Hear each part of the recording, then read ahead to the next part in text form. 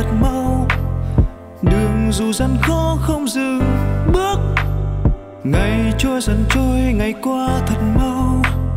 Dù sau này ta cố gắng